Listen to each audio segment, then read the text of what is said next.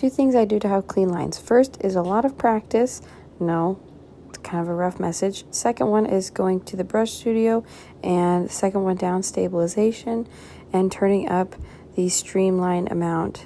This one I had it on max because I use it for a lot of line art, which I like to be very uh, clean and not shaky. You can also mess with the stabilization. Um, this one kind of throws me off, so I usually don't use it um, very much, um, if at all. Uh, thanks for your question.